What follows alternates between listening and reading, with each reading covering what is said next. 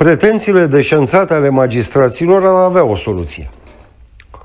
Nimic nu este nou, totul este să ai memorie bună și cărți de istorie în bibliotecă. Îmi spunea tatăl meu ori de câte ori mie, puști fiind, mi se părea de neînțeles câte o întâmplare de oarecare importanță.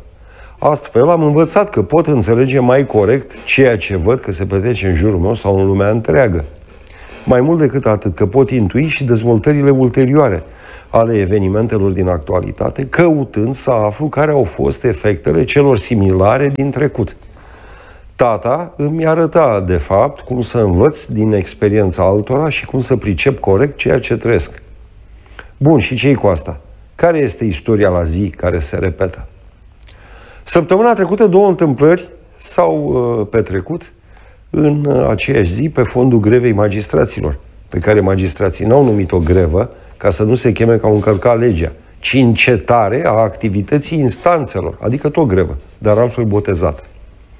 Prima, achitarea de către înalta curte de casație și justiție a primarului Cristian Piedone Popescu. În urma admiterii recursului în casație, deznodământ evident pentru oricine a înțeles din capul locului lipsa sa de vinovăție în tragedia de la colectiv. A doua zi tot o achitare, la aceeași înaltă curte de casație și justiție, a tandemului alcătuit din procurorii de la DNA Prahova, unitatea de elită a fostei șefe a DNA la Codruța Chioveși. În procesul în care Mircea Zdreanță Negulescu și Lucian Onea au fost acuzați de cercetare abuzivă, inducerea în eroare a organelor judiciare, represiune nedreaptă și altele. În cel de-al doilea caz, spre deosebire de primul, probe publice evidente arătau că cei doi procurori au încălcat fragant legea. Mai bine zis, au călcat-o în picioare. Ocupați cu grevele și protestele, spuneam eu în aceea zi, niciun magistrat n-a avut nicio trăsărire. Sub imperiul grijii pentru ziua de mâine, înspăimântați de situația în care ar pierde câteva sute de euro la, uh, pens- la o pensie din mai multe mii de euro, plus îngroziți că nu se va, vor mai putea pensiona la sub 50 de ani, niciun magistrat activ sau pensionar nu a găsit de cuvință să comită nici cel mai mic gest de îngrijorare cu privire la marasmul în care zac cu tot cu justiție, marasm evidențiat, printre multe altele, și de cazul Piedone, condamnat mai întâi la 8 ani, apoi la 4 ani, pentru că în final să fie achitat, pentru că fapta de care a fost acuzat nu există. Cum nu există? Păi și zicea că există. La fel și judecătorii care l-au condamnat mai întâi la 8 ani, apoi la 4 ani. Și toată presa deontologă toți plutonierii de presă, din plutoanele lui Coldea, Bașca, toată șleatha lui Soros.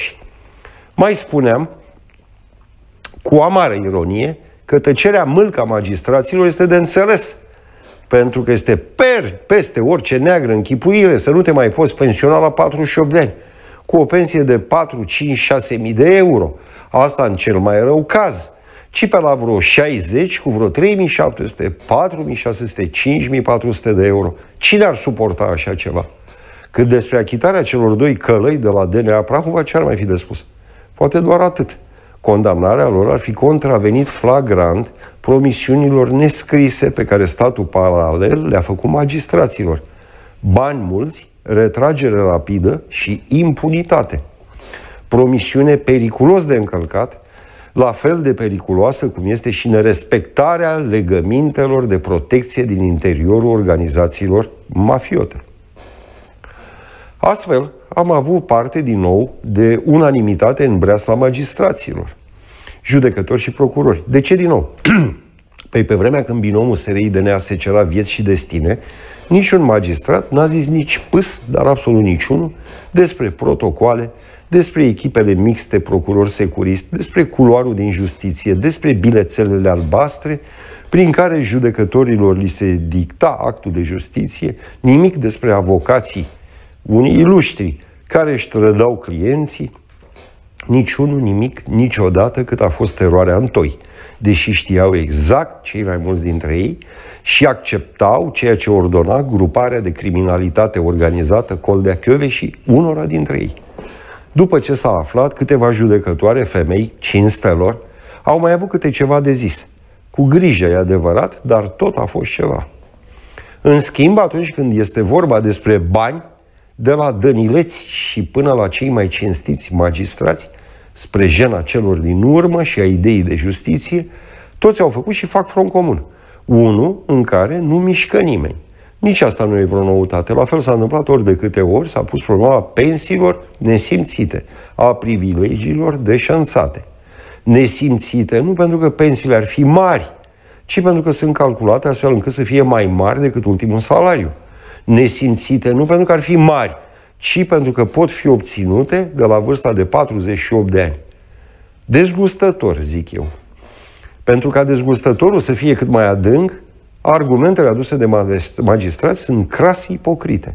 Îngrijorarea lor ar fi generată, de fapt, de pericolul afectării grave a echilibrului sistemului judiciar și a garanțiilor de independență ale acestuia. Altfel spus, îi îngrijorează echilibrul și independența justiției doar atunci când este vorba despre bani și ani munciți efectiv. Nu îi îngrijorează condamnarea unor nevinovați, nici albirea unor vinovați. Doar acolo stă echilibru și independența, la bani și la pensionările halucinant de premature. Spuneam acum vreo 5 ani, când tot așa s-a pus problema intrării în bun simț a privilegiilor depravate ale magistraților, că mă număr printre cei care înțeleg rațiunea pensiilor de serviciu. Înțeleg și reacția la unison, chestie rară la magistrați, mai ales atunci când este vorba despre solidaritate de opinie. Înțeleg și că mai eu așeza mai aproape de piele decât cămașa. Pot înțelege, chiar dacă nu sunt de acord cu el, chiar și egoismul de breaslă de tip, lasă, bine că ne este nouă bine, ceilalți să se descurce. Ceea ce nu înțelegeam în ruptul capului, nici atunci și nici acum, este altceva.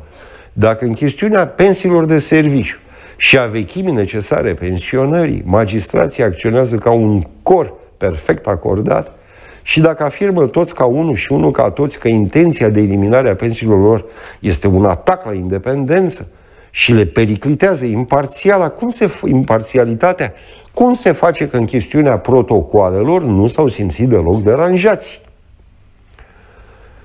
Cu venituri mai mari sau ceva mai mici, un om fie el și magistrat, poate fi la fel de cinstit, la fel de independent, la fel de imparțial. Asta dacă este dotat de la Dumnezeu cu coloană vertebrală, cu demnitate și caracter, dacă are bagajul axiologic bine clădit, pe carte și pe educație. Este știut, protocoalele care i-au așezat la blu, bunul plac al securiștilor, i-au transformat pe magistrații din zona de interes operativ, de poliție politică a cooperativei de criminalitate organizată Coldea Chioveși în complici, în executanți orbește. Cu toate astea, nu exista reacții de îngrijorare cu privire la independența lor. Nu și-au simțit periclitate imparțialitatea, deși exact aceste două caracteristici le erau călcate în picioare de securiști. Nici măcar atunci când dintre ei au fost ridicați colegi de-ai lor, pentru că nu executau în tocmai și pe loc teroarea au suportat-o fără probleme de independență și imparțialitate, pentru că era pe bani mulți. Aveam pe atunci și am și acum toate motivele să cred că, după ce au căzut în această capcană unsă din belșug cu miere, imaginea publică a magistraților a devenit praf și pulbere. Cum se vede ea? Oribil. Să fie urmăriți penal de SIJ pentru infracțiune săvârșite în exercitarea actului profesional nu au vrut. Să răspundă patrimonial pentru erorile judiciare comise cu rea credință sau din gravă neglijență, n-au vrut și nu vor.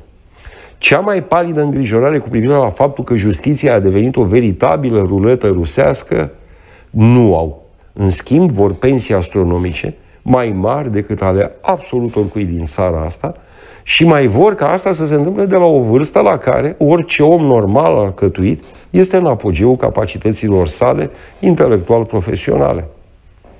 Care este soluția? Păi o soluție ar fi, la ei fiind vorba doar despre bani, după cum se vede, propun să fie plătiți pe lângă ce salariu vor ei și la normă, în acord individual adică la număr de anchete corecte, la număr de rechizitorii cinstite și la număr de hotărâri, hotărâri judecătorești pronunțate pe lege.